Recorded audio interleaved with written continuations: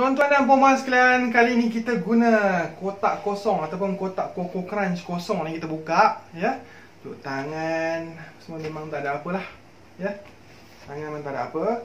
Kita buat macam ni kotak ni, tunjuk dalam memang tak ada apa. Tangan saya pun tak ada apa. Kita boleh jampi kotak ni, apa tengok. Tengok apa yang saya nak keluarkan. Kita keluarkan sapu tangan.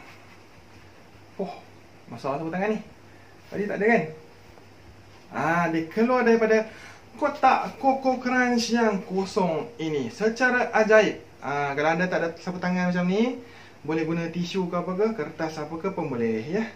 Okey, sebelum saya ajar macam mana cara nak buat mengeluarkan sapu tangan besar dari uh, kotak kosong Coco Crunch ni, saya nak buat iklan kepada anda yang nak belajar magic yang dinamakan sebagai magic close sale. Kepada follower saya yang bergelar usahawan ataupun businessman saya sarankan anda belajar magic ni sebab apa? Magic ni boleh menarik perhatian prospek ataupun klien anda untuk menggunakan uh, perkhidmatan anda ataupun untuk membeli confirm untuk membeli produk anda. Kalau tak berkesan saya jamin bagi balik duit anda. Ha, sebut pasal duit memang kalau nak belajar magic ni sebab magic ni sangat bernilai berharga ada bayaran dia dia kena belajar secara personal coaching dengan saya. Nak secara grup pun boleh boleh ajak kawan.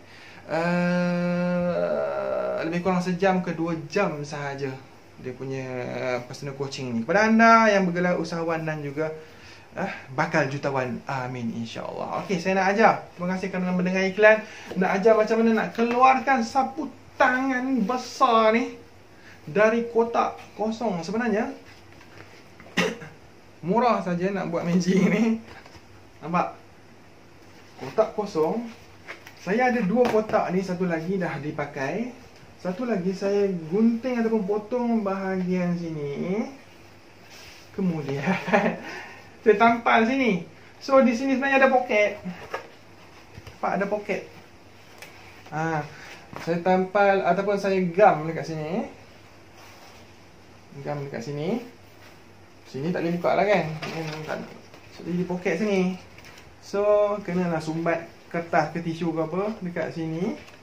Dengan menggunakan pen ataupun apa-apa sajalah yang panjang supaya dia senang masuk ke dalam. Sumbat dalam ni. Guna pisau ataupun guna pensel ataupun guna jari pun boleh.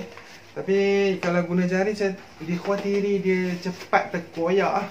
Jari kita besar sangat eh baik bagi sekata yang ujung ni bagi atas sikit ya Kemudian bagi dia rapat sikit.